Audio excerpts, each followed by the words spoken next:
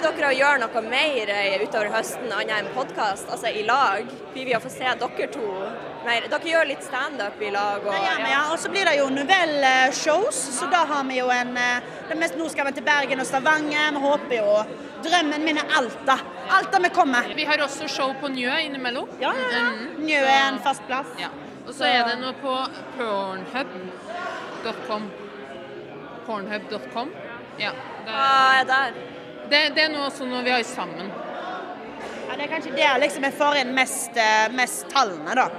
Pornhub. Så takk. Så bra. Lykke til med det. Det var flaut. eh, Nok nå, nok intervju. Stopp kameraet, skru det av! Stopp. Ja.